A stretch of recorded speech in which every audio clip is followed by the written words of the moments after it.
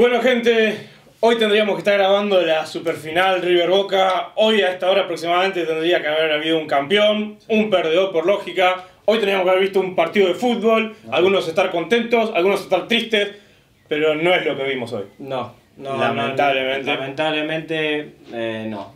Hoy estamos todos tristes por lo que sucedió, claramente todo el mundo lo sabe. Este, no lo puedo creer, la verdad no lo puedo creer. Nuevamente inadaptados, eh, estropeando el fútbol. Gente que dice ser hincha, que en realidad no son hinchas, son personas enfermas, desquiciadas, que lo único que buscan es eh, lastimar a otra persona, porque la verdad que agarrar una piedra y tirársela a un jugador de boca, no, no, no le veo el chiste, no le veo la gracia, no le veo absolutamente nada. Esa gente no es hincha de River, no es hincha del fútbol. También creo que es un papelón el, La el- policía. la policía, no puede ser que vimos, nosotros hemos visto fotos de lejos, parecía una emboscada, Sí. parecía como eh, vía libre, tierra de nadie, vayan, no, o sea, eso no justifica que uno porque tenga eh, vía libre puede tirar una piedra, pero la verdad que el cordón policial fue un desastre, la verdad No, que sí.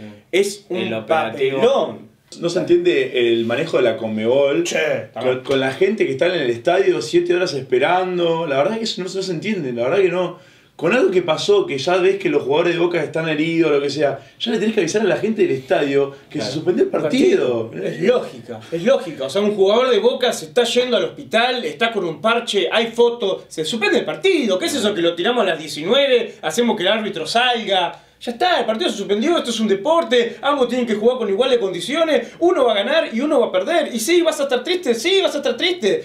Eh, vas a estar contento, sí, pero es un deporte, muchacho. La vida sigue y no podemos cometer estos papelones, no es una guerra. Hoy se demostró que, que la Argentina no, todavía no está preparada para, para, para este tipo de, de eventos tan importantes. eso que se quería jugar con público visitante. Se demostró que, se demostró que el mensaje de somos rivales, no enemigos todavía no, no le ha llegado a, a la gente que realmente le tiene que llegar. la sociedad argentina vuelve a demostrar, vuelve a defraudar otra vez. Era un momento en que nos estaban mirando de todas partes del mundo y como sociedad, como país, volvemos a fallar.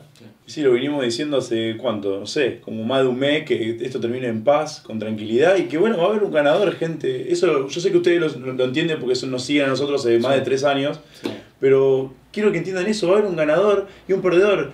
Y bueno, nada más que eso, eso es un deporte, no, no, no va a morir nadie por perder un partido. Que mañana hacer una fiesta y nos olvidemos de lo que pasó hoy. Esperamos que mañana sea, como dijo Tincho, pa- un partido en paz. Y bueno, vamos a vivirlo como es, una final de Libertadores, con lo mejor, con lo mejor que tengamos. Y no pasa otra vez. Acuérdense, gente, somos rivales, no enemigos.